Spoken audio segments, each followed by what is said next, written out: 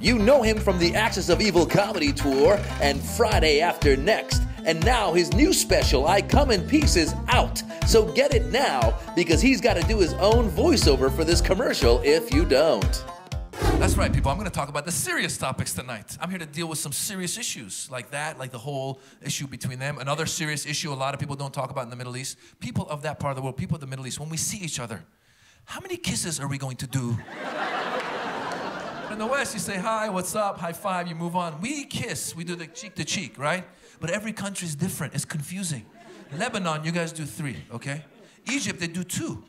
I was in Lebanon, I got used to three. I went to Egypt. I went to say hello to this guy. I went one, two, I went for three. He wasn't into it.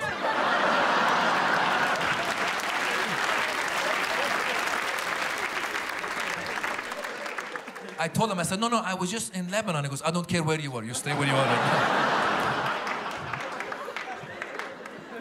Then I went to Saudi Arabia. Saudi Arabia, they go one, two, and then they stay on the same side. They go three, four, five, six, seven, eight, nine, ten, eleven, twelve, thirteen, fourteen, fifteen, sixteen, seventeen, eighteen, nineteen, twenty. It's like a night at the Roxbury. What is love? Baby, don't hurt me.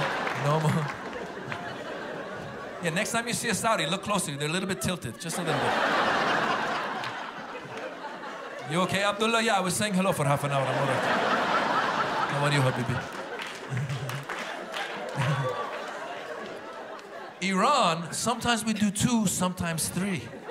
Someone explained to me before the revolution it was two. After the revolution, three.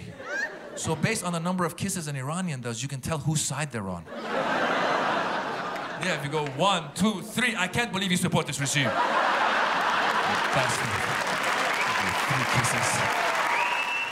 I Come in Peace available now on iTunes, Amazon.com, and anywhere else you can find comedy. Batteries not included.